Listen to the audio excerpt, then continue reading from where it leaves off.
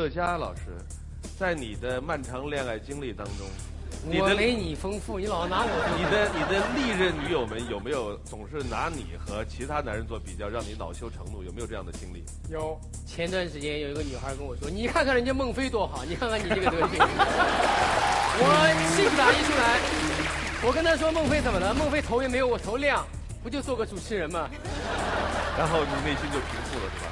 他你他听完你这话什么什么反应呢？？”他说：“反正我就是喜欢孟非。”那说行，我说我下我我可以收回我的问话吗？很多人都爱看电影，我也爱看，我估计好像很多女孩也会爱看。来说说两个或者三个你最喜欢的电影。嗯，我最喜欢的其中有一部是《佐罗》，就是阿兰德龙那版的。呃，不是那版，是就是泽塔琼斯的那两版。一问这话就显得我有多老。那个是八十年代出的电影。你你知道有八十年代那部出的那部电影、呃其实是七十年代拍的。我父母提，我父母提过。好了，你越说越离谱了。我我我不问这个问题好不好？把导演把那段剪掉。我很生气。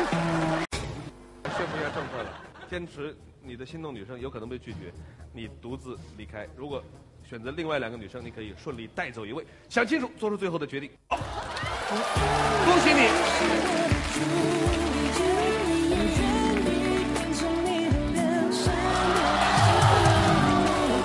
我找到我的靖哥哥了。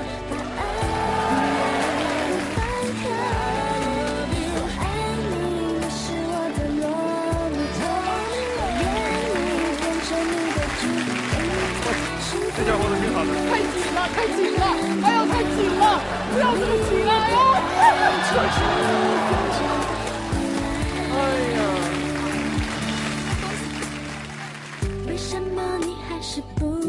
画到不语？做抱得美人归嘛，就像抱他下去，可以可以，他不他不介意，我们不反对。哎，因为其实很简单，我裙子会走光哎，大哥。就抱到哎哎哎！抱到台中间定一下。你你你哎，你会抱女人吗？恭喜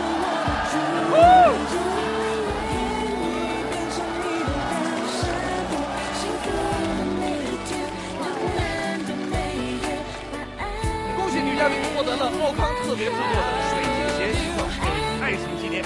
真的是我人生中第一个男人这样抱我，而且当当着这么多人的面，其实我挺紧张、挺激动的，但是我很开心，真的。我不是说我我我我一直这样寻找一个靖哥哥嘛，我觉得他真的很符合我的那个靖哥哥的标准。我也是第一次当着全国观众的面抱一个女孩儿，然后我觉得她嘴很大，而且还多爱笑，挺符合我那个心目中女孩的那个标准。我们去夏威夷吧，好吗？好好的，夏威夷见。